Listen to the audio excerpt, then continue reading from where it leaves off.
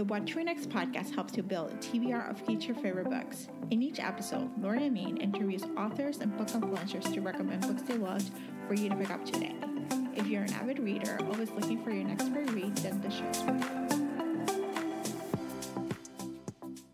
Hi, Julia. Welcome to What Your Next podcast. Thank you for having me. I'm really happy to be back. So happy to have you back. So, you have graduated from college, you finished your romance study. So, we got to talk about that. Like, you did a whole study about romance readers, um, and now you're entering the workforce. So, there's a lot of like fun changes happening. So, tell us what you've been up to. what did I give yeah, you? you summed it up, but I graduated college. I published my romance reader study and I've gotten a lot of really good feedback from it. Mm-hmm. I went to Steamy Lit Con this summer. Yeah. I've done a lot of really cool things that I didn't think having a random book bookstagram would take me to this place, but I'm here now and it feels amazing. But like you said, I'm trying to enter the workforce in the job hunt. It can be a lot, yeah. especially when you're applying to work at publishers, but I'm so close I can taste it. And either way, I'm having fun doing other Bookish projects. I'm taking on a line editor job right now. So oh. I've been line editing like a romance book for an indie author, and that's been really cool.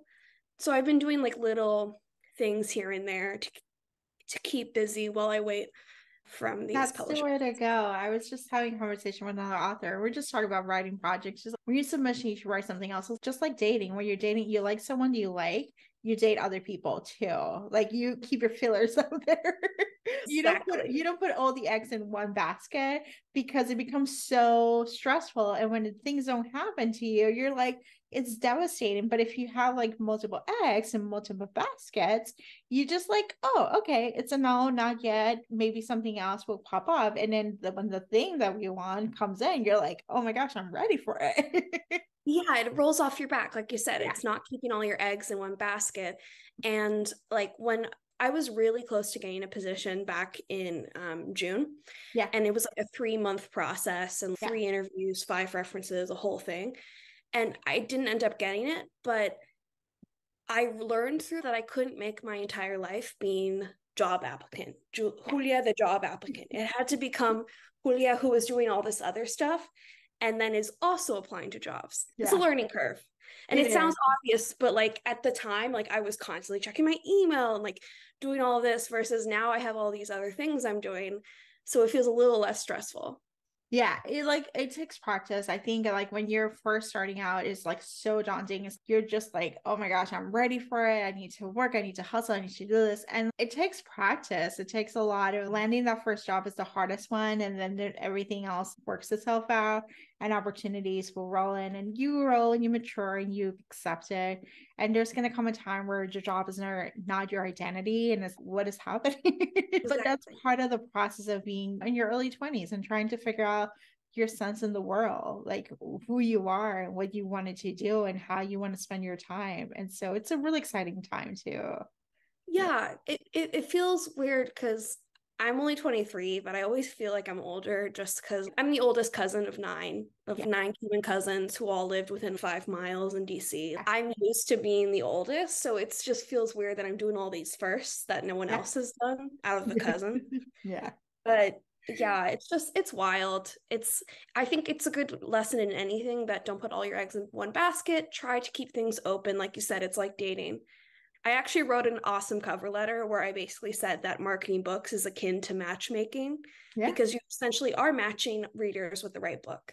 Yeah. And I've gotten a lot of reception on that cover letter because they told me to add more personality to it. So it is so good. Yeah. the art, the, uh, there's an art to write cover letters. It's it is, it is a mess.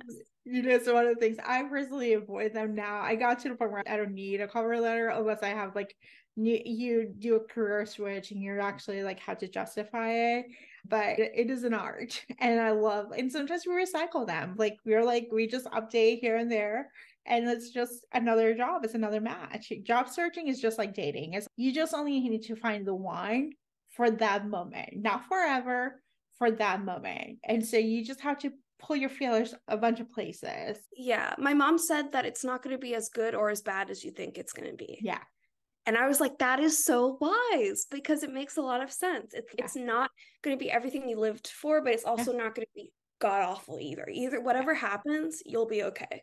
You have a good head on your shoulders. You have a good family behind you. I'm very fortunate that I have the ability to not worry too much about rent because I'm living with my parents right now. But yeah, so are you doing good? How are you doing? I'm doing good. I am doing good. I actually work is fine, books is fine, now reading, reading like a different place, but overall it's been a it's been a good change. I, I've dealt with a lot of personal growth. I went through a period of healing with childhood trauma, which is like the things that keep popping up. And so I did EMDR for that, and it's been so healing and transformative. And so it's entering this like new era of relaxing and easing your way into life, meditating, which is this is where we are. Uh, All about holistic living. It isn't, it isn't, because it's like it's about coming back to yourself and listening to your intuition and trusting that like wise mind that wants the best out for you as opposed to your emotional mind and your logical mind who are like have like different intentions but your wise mind just wants you, the best for you and so it's letting go I, there's there's a breath of just release I can consume drama in other places, but I don't have drama in my life. That's the best way I can describe it. That's why I love romance books. It's drama that's not happening to me. Yeah. and it always ends in a happy happily ever after. So you exactly. know it's everything's gonna work itself out. exactly. That's what I love about romance. It's like the world can be a terrible place sometimes. So it's just yeah. lovely that in this world people can find love and yeah. it makes me happy. I'm such a sap. Like my mom's mm-hmm. my mom used to call me Miss Hallmark as a kid. Yeah. I was always Miss cheesy quotes here and there. But yeah, no, wild. There we go. And let's talk about Steamy Lit. What did you enjoy about it? Was it it was just it was so cool. It was like a culmination of my 2 years on the platform and I just had some funny stories. I still haven't posted about it to my Instagram. I'm yeah. such a bad influencer. I have fun and I meet people and I do the connections and I'm doing all the stuff behind the scenes, but I'm pretty bad at actually posting. I haven't posted just because I, I didn't want to, I don't know. I just didn't want it to just be generic. I've been compiling like a list of funny moments that happened because yeah. I think that is what's going to set me apart a little bit and, and will be more interesting for people. I had someone who ran up to me and yelled, "Check on this shit," and it was freaking hilarious. And I cackled, like I bent over laughing, and I could not stop laughing. And I didn't know who it was because she uh, goes without a face on her Instagram, but yeah. we had conversations. So she, it was genius. She had a pin with her her little thing right here with yeah. all her information, so people would see the pin and they're like, "Oh, I know you." But yeah. I didn't know. So having some random person who I didn't know running up to me and yelling, "Chick lit is shit," and someone else yelled "clits" at me, just those things. It was just, it was fun. It was like there was one night where we stayed up till two a.m. making friendship bracelets. It was really cute. Yeah, it was a cute thing. I'm definitely gonna try to go next year, but yeah, it was just, it was a nice way to put myself out there and network and meet people because. I feel like people my age I, I keep on joking that I need to make a club for 23 year olds who don't know how to socialize because of the pandemic and college yeah. being all weird because of that. So it was like, it was very healing to a part of myself. And I talked to other people who were like, I haven't really been out of the house in a while. This is so nice. And it yep. was just, it was really cute. Yeah, I think we're just emerging. I like emerging from that bubble. I'm still like, I actually, I think we met last year. So I was living in Tampa, but before that i live in, i lived in new york and then i moved to chicago right before the pandemic like two weeks before the pandemic like the shutdown happened. So i was like the first two weeks i was like living it up. I went to happy hour i went to like fitness classes i went to job interviews. It was like living my best life. And then the pandemic happened and everything shut down. And i was like what am i supposed to do I didn't know I didn't know anyone. I was like, okay, I'm just like in this beautiful apartment, stuck in a strange city. I had no idea. And it, it happened to be a time where the podcast took off because the publishing, the way publishing worked, I was doing author interviews and they were pretty much it like author tours were shut down because they couldn't travel, they couldn't do any of the physical events. And so publicists were like, hey, you have a podcast. Can we send so and so this? And so I went from having a once a week kind of show to seven days a week. like it was like, so all my interactions were on Zoom and all the different people, like I started making friends on Zoom and it was all Zoom related. And I lived in that bubble. I ended up moving to to Tampa and it still took me it's taken me two years to finally settle down and be like okay i want to have make friends here. I'm going to go to a book club or i'm going to go to a fitness class. I'm going to go but even that the the effort that because we're such stuck in a bubble for so long there's oh i gotta make friends with people now and have small talk and try to figure out can we be friends? Can we talk more beyond this time it's a process. It's not, I think we were stunted. And I can imagine missing college and having that experience where you're just like, where your whole world is just like school, friends, hang out, maybe work, maybe internships. And it's like having that shut down, it would be shocking. Yeah, I'm not gonna lie. For some people, I think they were able to operate pretty normally, which is yeah. dangerous.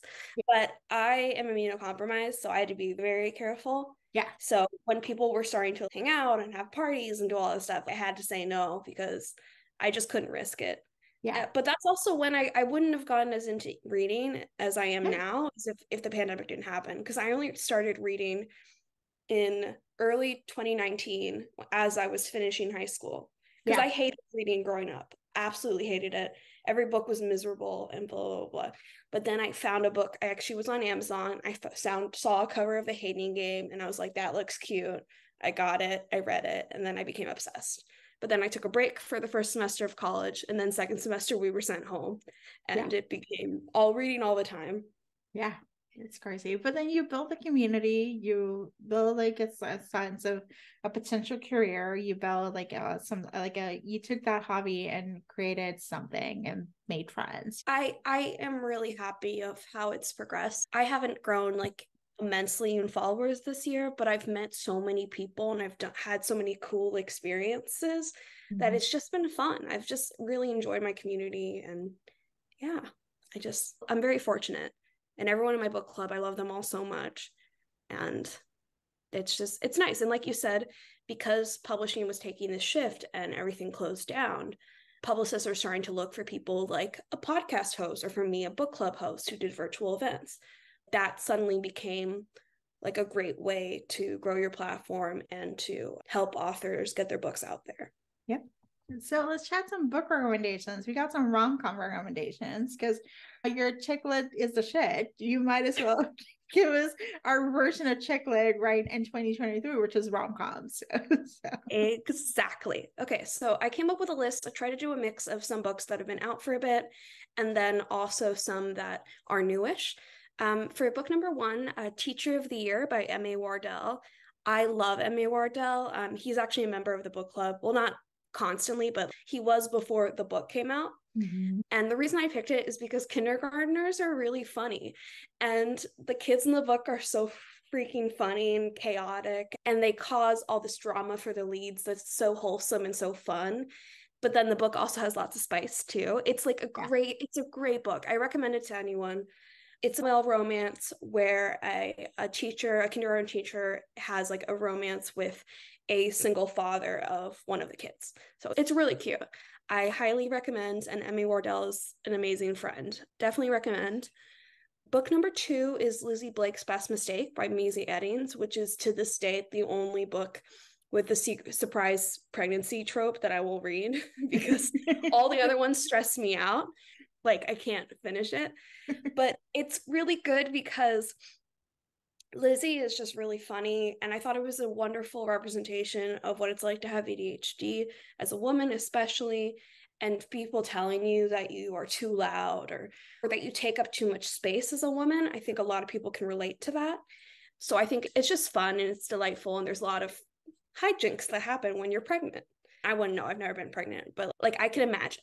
And also, I think Mazey Eddings just has amazing comedic timing. And I've done an event for all of the books in the Brush with Love series, and she's wonderful. For book number three, I have Kiss Her Once for Me by Alison Cochrun.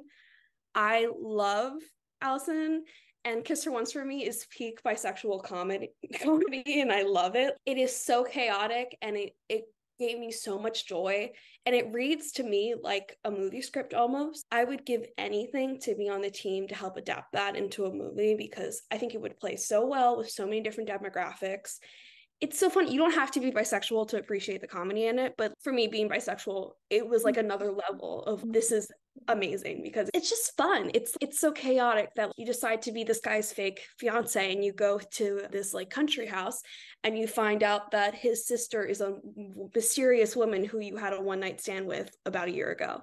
That that's like a perfect premise. It's so good. It's while you were sleeping, but like lesbian version of that. That's yeah. who Jack is.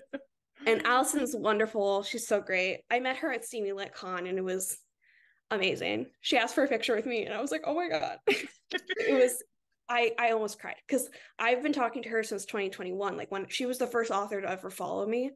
So I love her. Oh. She she's delightful. I did my first publishing project on the Charm Offensive and how I thought it was going to be like a huge book. And it ended up being a pretty big book, especially for a debut author. Yeah for book number four, I picked Not the Girl You Marry by Andie J. Christopher. Yep. I love this one. This one's a couple years old. None of these are very old because I haven't been reading romance for that long, more yeah. like about I think five years. Now? I think I think you got but honestly rom coms the way the rom coms that we see now together, like they start in 2018, like 2018, 2017. So you're fine. Like the ones I like the rom com, yes, the indie book talk darlings are from 2016, 2017, because that's what I was reading.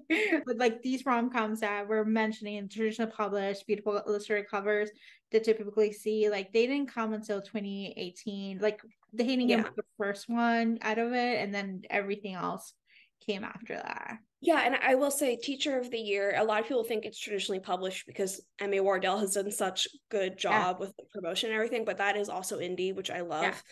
Um, but Not the Girl You Married by Andie J. Christopher. I've met Andie. She's what part of the DC author squad. Yeah. And she's so cool. And she's also one of the many lawyers turn romance authors. Yeah. um, and it's so much fun. It's it's a reversed version of 10 thing how to lose a guy in 10 days. Yeah which I loved as a movie. So it's there's a lot of like hijinks because they both are trying to she's trying to keep him and he's trying to lose her. Yeah. So that just creates like an amazing dynamic and I just think it's so funny. It's amazing. I love it. Yeah. And then book 5 is The Love Wager by Lynn Painter. Yep. I think it's Lynn Painter. Yep. Right. It's Lynn. Yeah.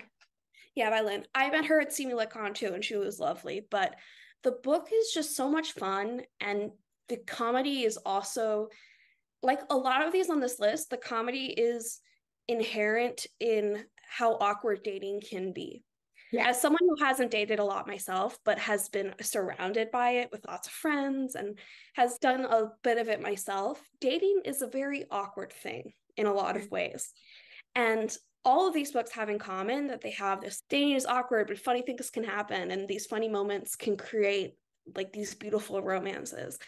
But the love wager is literally rooted in that because it's about these two trying to date other people and going through the motions of trying to find love, but then they end up finding love with each other, which is always super cute.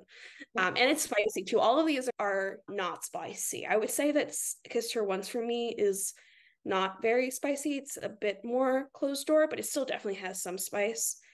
But yeah, those are the ones I picked. There are so many good ones, but these are the ones that first came to mind and the ones that I go back and reread.